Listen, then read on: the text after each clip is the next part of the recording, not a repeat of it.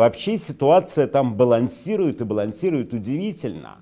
При том, что революция в Минске делает ошибку за ошибкой. Она не использует победы, она утрачивает инициативы, она отдает э, первенство, она возьмет, захватит всю политическую, эмоциональную, смысловую, идеологическую высоту. И вот кажется, что вот сейчас ей достаточно дунуть, фыркнуть на этого Лукашенко, и его снесет, сметет. Но они Время. смотрят на часы и идут есть свои драники. И улицы снова Ну, Глебович, Я не видел ну, революции требовать. хуже, не видел никогда. Да, она очень красивая, но она страшно деликатная, напоминает она мне, вот знаете, желание родов, но так, чтобы без схваток, без крови, без всяких там пуповин, отхода вод, вот чтобы все это было а, чистенько и спортивно. Вот так не бывает. Она постоянно подставляет лидеров, она выдает свою Алексеевич на допрос в Следственный комитет. Хотя Они этого след- стояли вокруг, пока она была ну правильно, его надо было по, кирпич- толпой. по кирпичкам давно разобрать, как только она в него вошла. Кстати, Лукашенко, собственно, э, так и сказали, что уже вот сейчас штурмуют его этот прекрасный дворец, летим, хватаем Колю. А, видимо, приходится уже ему рассказывать, что уже штурмуют, уже все, прям сейчас уже все закончится. Действительно, Хотя никто ничего не штурмовал, абсолютно, абсолютно никто не штурмовал. К сожалению, никто.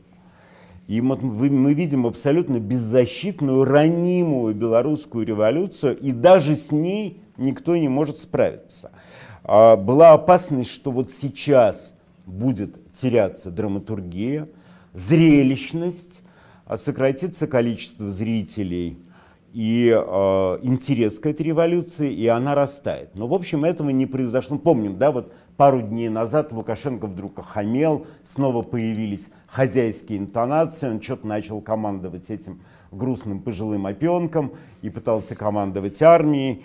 А, но сейчас эти хозяйские интонации снова ушли, и Александр Григорьевич снова пришипился.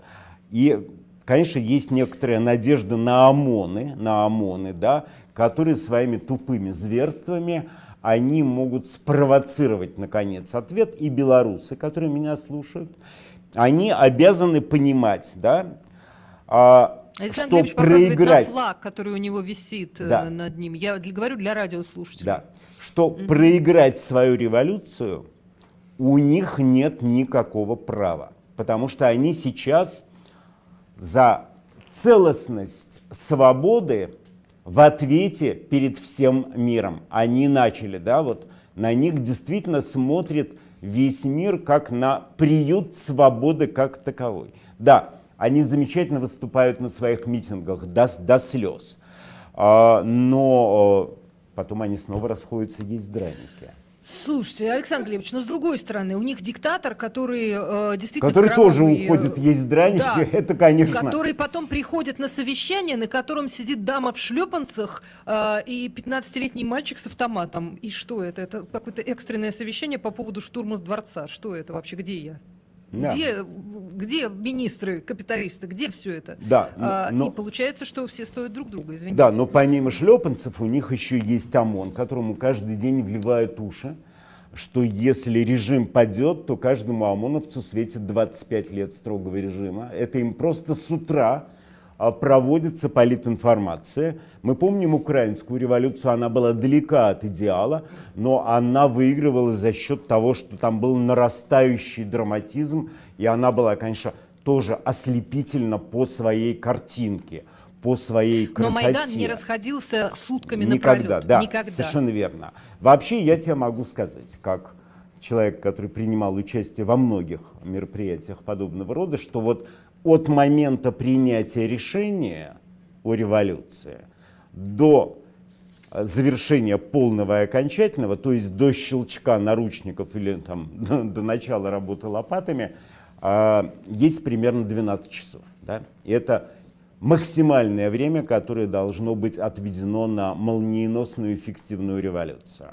И вот если они там в Минске все такие деликатные, если они там все такие субтильные и чувствительные, но собираются по 300 тысяч человек, скинулись бы по 100 долларов и все 300 тысяч, и наняли, наняли бы, себе ОМОН. Наняли бы себе команду, которая действительно сделает это все. Они сделают такой супер революшн, там блеск, чистота, муха не сидела, все завидуются.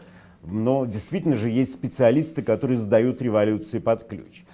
А, понятно, что Александр Григорьевич рано или поздно, конечно, начнет звереть, стрелять, ему некуда деваться. Он сделал все для Слушайте, того, он уже чтобы... десятки лет сажает своих противников, э, мучают, пропадают люди. Это происходит не уже в таких количествах и... Согласна. Да, и не так публично, потому что ведь он сейчас э, очень сильно засветился в своем страхе, в своей э, перманентной истерике. Он э, под запись давал все команды министрам действовать как можно более жестоко, как можно более круто. А, смотреть сквозь пальцы на изнасилование в изоляторах, на избиение, запугивать, давить. А эти дураки в ОМОНах, они не позволяют, не понимают, да, что чем больше им позволяют, тем больше их повязывают кровью. Их заманил этот хитрый колхозник туда, где они неизбежно будут наматывать и наматывать себе срок за эти преступления. Он заманил этих красавцев туда, откуда нет дороги обратно в мир людей. И рано или поздно этим всем дуболобам придется мыкаться по каким-нибудь оврагам, меняя фамилии, документы и лица, как это уже, в общем-то, было, да. Но обдурить ОМОНа вообще не стоит никакого труда, потому что там, если и есть извилины, то это следы от дубинок товарищей на тренировках, и никаких других там нет. Большой доблести в том, чтобы обхитрить собственных ОМОНовцев и заманить их в этот невыходимый капкан, нету. Да, они, он говорит, да, пытайте, Родина требует, спасайте Родину, надо пытать. И те радостно прыгают на пальцах задержанных, а, ломают позвонки, тазовые кости, копчики, девчонок бьют на отмуж велосипедами насилуют. Вот начальство разрешило. А, ну, еще пользуясь тем, что у нас есть там последнее звено пищевой цепи, так называемый бюджетник, вот это последние звенья пищевой цепи сгоняются на театрализованные красно-зеленые митинги. То есть все, что мог сделать диктатор, он уже сделал, и обратной дороги ему нет.